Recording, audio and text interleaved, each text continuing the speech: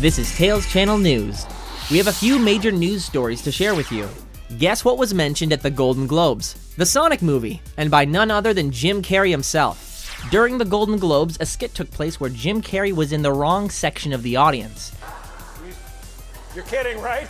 But you're on kidding, and that's on TV. He was sitting in a section reserved for those that were nominated for a movie. Carrey nominated for a television series. When called out for this, Carrey mentions that he just finished filming Sonic the Hedgehog as justification. Unfortunately for Jim Carrey, the Sonic movie isn't out yet and hasn't been nominated, so the point remains. Thankfully, this wasn't a roast of the Sonic movie, as some content creators may want you to believe, just as a nice little plug of the project that Jim Carrey has coming soon. So, year one of the IDW Sonic comics will end in April. It has been quite a start for the new era of Sonic comics. That said, the nominees for Diamond's 2018 Gem Awards have been announced. The awards cover the past year's highlights in the world of comics. The first issue of IDW Sonic was nominated for Comic Book of the Year in the $4 or under category. However, Sonic's got some big competition.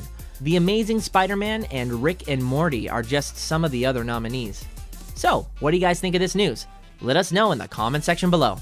And that's all for now. This was Evan for Tails Channel. If you were informed, be sure to leave a like, a comment, and subscribe for more Sonic the Hedgehog news and updates.